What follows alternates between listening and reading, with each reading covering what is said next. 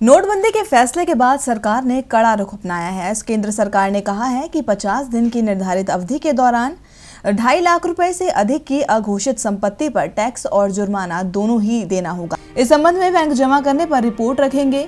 राजस्व सचिव हसमुख अधिया ने बताया कि 10 नवंबर से लेकर 30 दिसंबर के भीतर ढाई लाख रुपए से अधिक जमा कराने वाले हर खाते की रिपोर्ट रखी जाएगी। टैक्स विभाग जमाकर्ता के इनकम टैक्स रिटर्न से इसका मिलान करेंगे और हिसाब नहीं मिलने पर उचित कार्रवाई की जाएगी। इस मामले में जमाकर्ता की घोषित राशि का रिकॉर्ड नहीं मिलने को कर चोरी के रूप में देखा जाएगा। और इस संबंध में आयकर एक्ट के सेक्शन 270 ए के तहत उस पर पेनल्टी और 200 प्रतिशत का जुर्माना लगाया जाएगा। अधिया ने कहा कि उन छोटे कारोबारियों, गृहणियों, कलाकारों व कामगारों को चिंतित होने की ज़रूरत नहीं है, जिन्होंने कुछ नकदी बचाकर घर में रखी हुई है।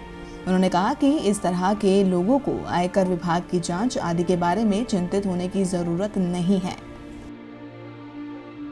यहाँ यहाँ ईमानदारी से पैसा जमा करने वालों को चिंता करने की ज़रूरत नहीं है, लेकिन जो लोग आयकर देने से बचते हैं और टैक्स चोरी करते हैं अब उनकी खैर नहीं होगी, क्योंकि सरकार ने अब सख्त रुख अख्तियार कर लिया है।